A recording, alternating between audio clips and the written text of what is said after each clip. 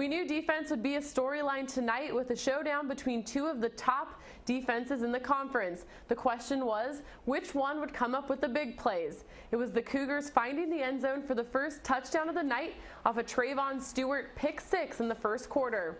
Cougs up 10-0. Temple needing a little momentum to get back in it. PJ Walker finds his high school teammate Jahad Thomas for the 72-yard run that will eventually set up Austin Jones for the field goal. That run by Thomas was the longest play from scrimmage for the Owls this season. Houston up 10-3 heading into the second. Greg Ward drives his team down in the beginning of the quarter. Ward hands the ball off to Kenneth Farrow for the four-yard touchdown run, now up 17-3.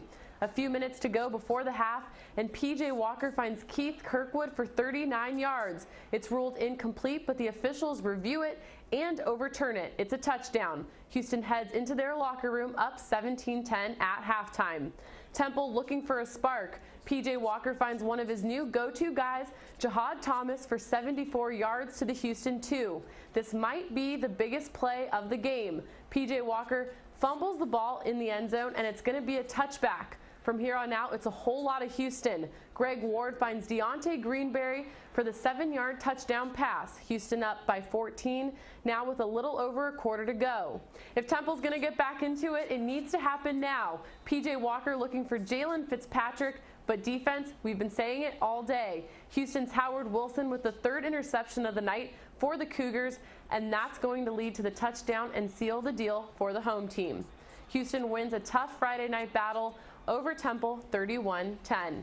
These two now tied at 2 and 1 in the standings, leaving ECU and UCF as the only undefeated teams in league play. Turnovers the big story tonight. Temple with four and Houston with none. Three conference games slated for today, and we'll have full coverage for you all day long. For the American Digital Network, I'm Haley Outen.